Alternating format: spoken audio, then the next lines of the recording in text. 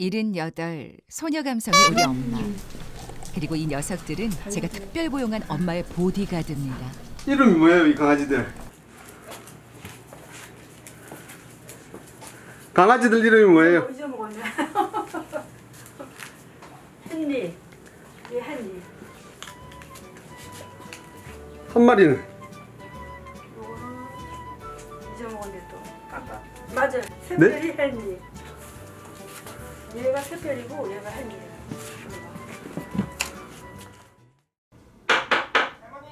어.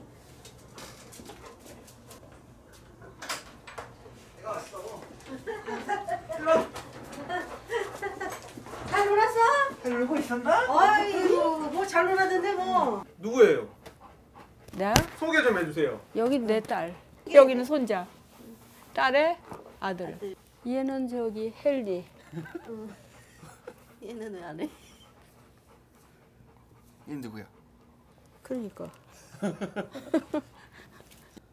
엄마가 이제 기억력이 보셨지만 이제 이렇게 나이가 연세가 있으시고 이제 그 경도 유지장이 좀 있으셔가지고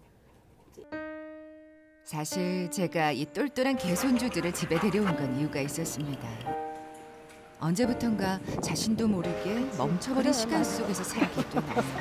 들어. 여기가 저기 사, 할머니 할아버지 이사했던 집이야. 그치 2층 집. 응 맞아. 여기가 순대국 집이었어 옛날에. 순대국 이제. 지금도 파 그렇지 팔지. 근데 이렇게 순대국이었다니까. 나 3학년 때 어, 엄마가 이 집에서 사줬어 순대국. 아 맨날 동해 쪽만 우리는 가봤었는데.